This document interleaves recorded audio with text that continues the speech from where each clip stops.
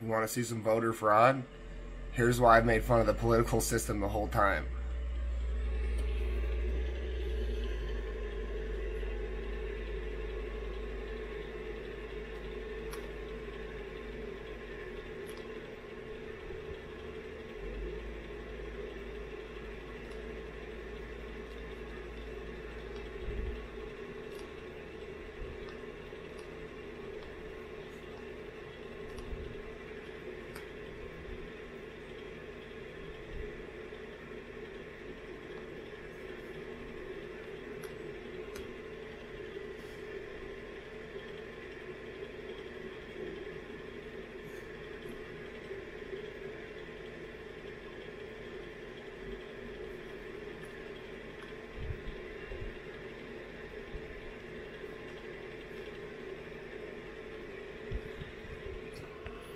Now imagine what uh, 3D programs can do automatically with my name to his.